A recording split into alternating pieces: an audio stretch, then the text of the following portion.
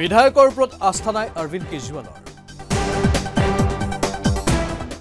শেহতীয়াকৈ অৰবিন্দ কেজৰিৱালে আস্থা ভোটৰ সন্মুখীন হোৱাৰ বিষয়টোৱে তোলপাৰ লগাইছে দেশৰ ৰাজনীতি।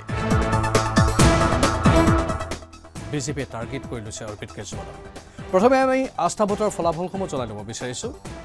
যি আস্থা ভোটৰ আজি সিদ্ধান্ত লোৱা হৈছিল যি আস্থা ভোট অনুষ্ঠিত কৰা হৈছিল দিল্লী বিধানসভাত সেই আস্থা ভোটত অৱশেষত জয়লাভ কৰিছে অৰবিন্দ কেজৰিৱাল। চৰকাৰ প্ৰৱৰ্তন হৈ থাকিব বা চৰকাৰ থাকি যাব। চৰকাৰৰ বাবে কোনো চিন্তাৰ কাৰণ নাই। বাষষ্ঠিজন বিধায়ক আছে দিল্লী বিধানসভাত আম আদমী পাৰ্টীৰ। আৰু আঠজন বিধায়ক ভাৰতীয় জনতা পাৰ্টীৰ। মুঠ আসন দিল্লী বিধানসভাৰ সত্তৰখন। ইয়াৰে বাষষ্ঠিখন আসনেই আম আদমী পাৰ্টীয়ে দখল কৰি আছে। আৰু এই বাষষ্ঠিজন বিধায়কৰ ভিতৰত চৌৱন্নজন বিধায়ক আজি উপস্থিত আছিল বিধানসভাত। এই চৌৱন্নজন বিধায়কৰে ভোট বা সমৰ্থন লাভ কৰিছে অৰবিন্দ কেজৰিৱালে।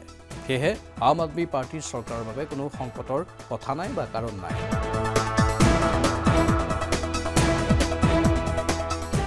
কিন্তু বিজেপিয়ে সমালোচনা কৰি কৈছিল যিটো দলৰ বাষষ্ঠিজন বিধায়ক আছে সেই দলটোৱে আকৌ আস্থা ভোটৰ কিয় আয়োজন কৰিব লাগে? কিন্তু অৰবিন্দ কেজৰিৱালে কৈছিল যে বিজেপিয়ে যি উৰা বাতৰি বিয়পাই আছে সেই উৰা বাতৰি নাশ কৰাৰ বাবেই আস্থা ভোটৰ ব্যৱস্থা কৰা হৈছে। কাৰণ বহুকেইজন আম আদমী পাৰ্টীৰ বিধায়কৰ সৈতে ভাৰতীয় জনতা পাৰ্টীয়ে যোগদান কৰি আছিল বুলি এটা বাতৰি ওলাই আছিল। আৰু সেয়েহে এক প্ৰকাৰ চিন্তাও হৈ পৰিছিল বহুতৰ। যে আম আদমী পাৰ্টীৰ বিধায়কসকলক বিজেপিয়ে নিজৰ লগত চামিল কৰাব নেকি বা আম আদমী পাৰ্টীৰ একাংশ বিধায়ক বিজেপিমুখী হ'ব নেকি? তেতিয়া স্বাভাৱিকতে সংকট আহিব পাৰে চৰকাৰখনৰ প্ৰতি।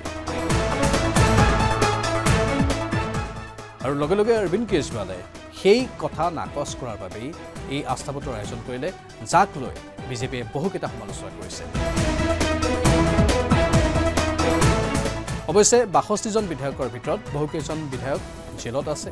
আৰু আন একাংশ বিধায়কৰ শৰীৰ বেয়া বা আন কিছু কাৰণত তেওঁলোক উপস্থিত হ'ব নোৱাৰাৰ বাবেই চৌৱন্নজন বিধায়ক উপস্থিত হ'ল আৰু সেই চৌৱন্নজনেই অৰবিন্দ কেজৰিৱালৰ প্ৰতি আস্থা প্ৰকাশ কৰিলে।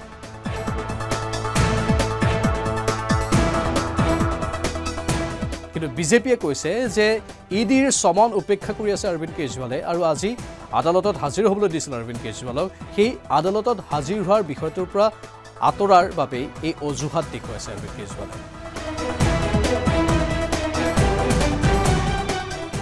যাতে তেওঁ আদালতত যাব লগা নহয় আৰু আদালতত নোযোৱাকৈ যাতে সকলো হৈ যায়। কাৰণ এই বিষয়টো ক'লে আস্থা ভোটৰ কথা ক'লে স্বাভাৱিকতে তেওঁ আদালতত নোযোৱাকৈ থাকিব পাৰিব।